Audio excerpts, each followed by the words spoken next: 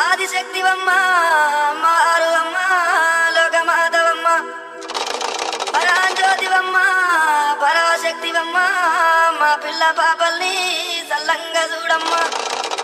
అమ్మా దుర్గమ్మ